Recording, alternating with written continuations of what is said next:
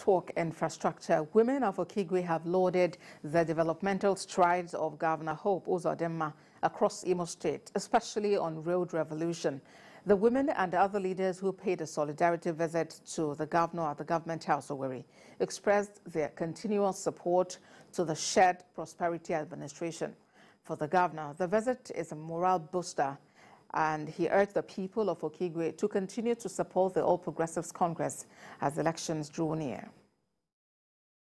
If you have this visit, today is beckon on sincere appreciation to our father, the Executive Governor of Imo State, Senator Hope Uzodimma. Sir, for your, for your vision and infrastructural revolution in our dear state, construction and commission of Owerri Okigwe Road. I want to, from the bottom of my heart, thank you people for making this day possible and for being here to show solidarity to not only my government, but to me and my wife and those of us working with me in my team. Now, still talking infrastructure development, professional project managers have advocated proper planning and timely release of funds to address the issue of failure and abandonment of projects in Nigeria. The managers made these observations during the Project Management Institute Expo with the theme Resolving Project Failure Issues in the Public and Private Sectors. Correspondent Abida Lawal reports. In many parts of the world and Nigeria, post-COVID-19 recovery policy measures have involved investment in infrastructure projects. An International Monetary Fund report published ahead of the G20 leaders meeting in 2020 argued that a synchronized infrastructure investment push could invigorate growth, limit scarring, and address climate goals.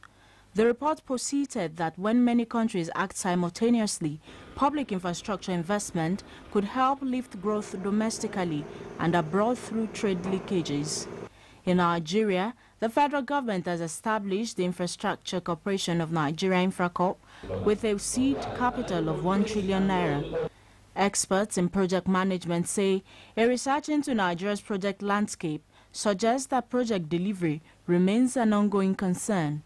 If you notice, the issue with projects is not just funding. The fact of the matter is that we don't have a structure in place. For every project to be run by a program or a project management office, right? And then you should have the right people running the project, certified project manager. What we have um, in, in, our environment, it's more of accidental project managers, those who have had experience in doing projects for years, but they are not certified.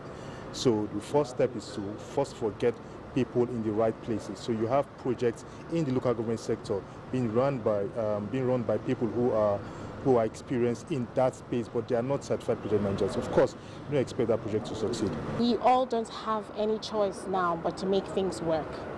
And what this would require for everyone, which is what we're doing now, yes, um, we all need to have a consciousness of project management. And besides having a consciousness of project management, we all need to start imbibing these principles. And this is just about the principles and the principles and also achieving the objectives.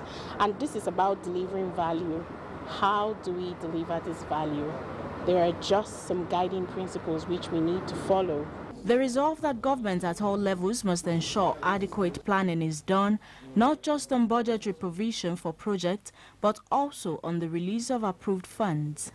Habib Alawal, TVC News, Abuja.